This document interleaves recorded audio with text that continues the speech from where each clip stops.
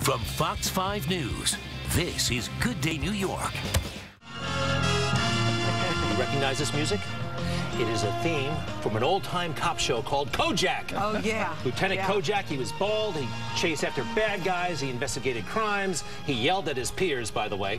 Anyway, uh, we all know and love police drama, right? Right, right? Absolutely. And we all know and love cops. Hopefully, you know what? Sometimes we see them performing their job and uh, they're chasing people. Sometimes they deliver bad news to you.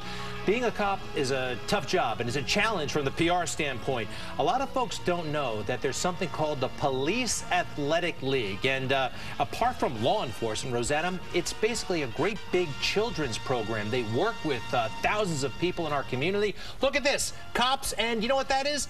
Face painting. I know they do that. They do arts and crafts, but they also help them with academics and athletics, and they teach them about the juvenile system. So uh, It's a great organization. Uh, tomorrow night, uh, the PAL, the Police Athletic League, they have a major benefit. Let's meet uh, some of the honorees and some of the people who make it happen. We have with us former police commissioner Bob McGuire. He served under Mayor Koch, the late great Mayor Koch, and also John Osborn. He is the CEO of BBDO New York, a big-time advertising uh, agency. Welcome to Good Day New York. Thanks, Greg. Thank so, w- Mr. McGuire, nice to see you, by Thank the you. way. Um, Thank you. Are you still very involved with the Police Athletic League? Well, I've been on the board for 38 years. I think you are. And uh, now I was the president before John, and now I'm the vice chairman. And uh, John has done a spectacular job. what does the Police Athletic League me- mean to the community of New York City?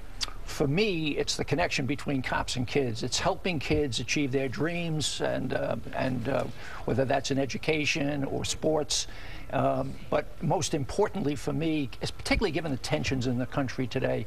Um, um, with the law enforcement community, I think it's incredibly important that we have kids and cops seeing each other as human beings. Yeah, because John, if you look at the headlines, it's tough and it's a fraught relationship, but it doesn't have to be, and PAL has been doing it differently for a long time. They certainly have. We serve about 35,000 kids throughout the year.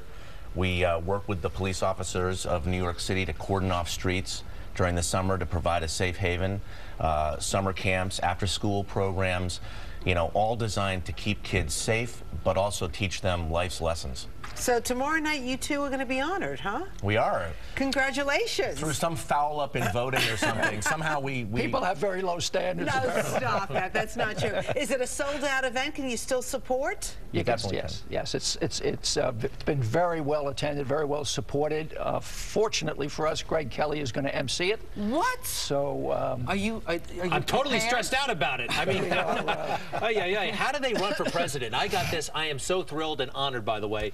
Uh, so tomorrow night at the Mandarin Oriental? correct. All right, I will be there.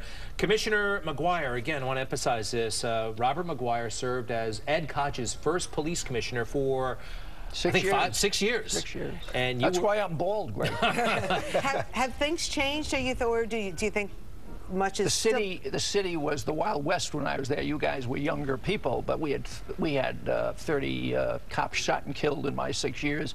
This is the safest large city in the world today. You know it's remarkable? Oh, and there's uh, one of your successors, Ray Kelly, uh, commissioner of the NYPD uh, for 12 years. Sir, um, the Etan Patz case. Etan Patz actually went missing when you were in office, and it's kind of wild that the trial, round two, starts today of Pedro Hernandez. It's it's like a historical legacy, but it's uh, and it's a, it was a terrible tragedy when I was there. Do you, do you remember, it was Pedro Hernandez really the, the prime suspect uh, at that time? He, we, we had no suspects that were pr- what we would call prime suspects. This uh, Pedro Hernandez really surfaced later.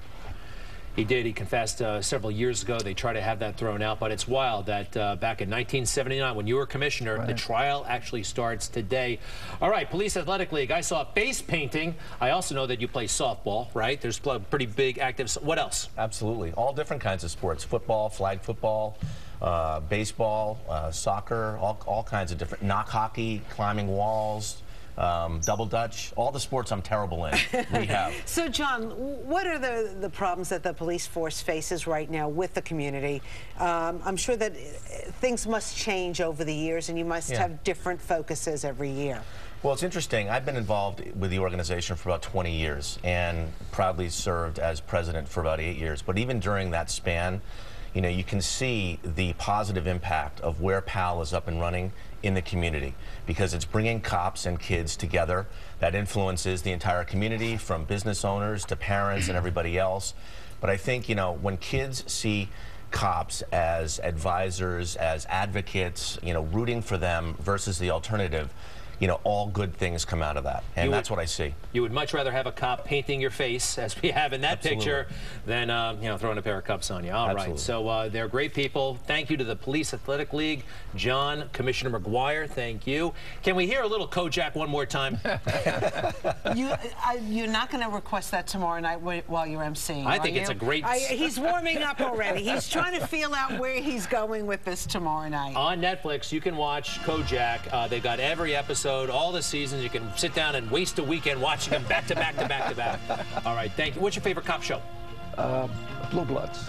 Blue Bloods. Oh, with uh, Tom Selleck Tom as the Selleck. commissioner. Yeah, Very good. good. Right. John, how about you're an ad man? I'm going to ask you, do you like Mad Men? I like CSI and back in the day NYPD Blue. I think that was really the that set the bar for me. And with advertising, I mean, uh, they don't drink like that, right? Mad Men. Oh heavens no! I mean we'd all be Heavens dead. no! Heavens no! Us? Thank you, gentlemen. Congratulations. Thank you very much. All right, Thank good you, luck Greg. to you. Piece of cake.